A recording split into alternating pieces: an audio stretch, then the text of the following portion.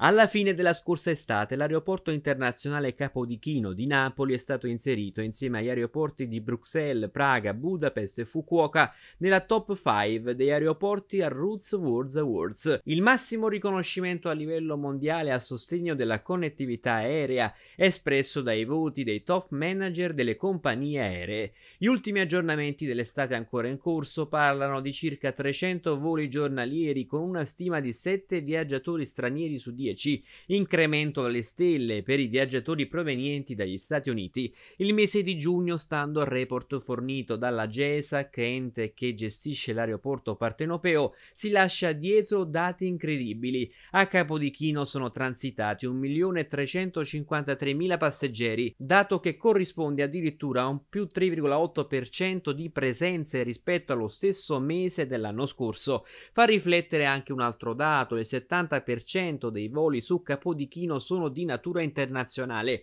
questo sia in entrata che in uscita. A Napoli i collegamenti nazionali sono 17, 116 invece quelli attualmente oltre confine. Come detto va avanti in modo costante la crescita dei flussi di passeggeri provenienti dal mercato nordamericano. Ora sono 4 i voli quotidiani, 2 su New York Newark di United, uno per New York GFK di Delta e uno per Philadelphia di American Airlines. Per luglio GESAC ha calcolato su Napoli il passaggio di 1.475.000 viaggiatori. Nel mese di agosto, appena cominciato, il principale scalo del sud Italia si prepara a circa 1.500.000 transiti.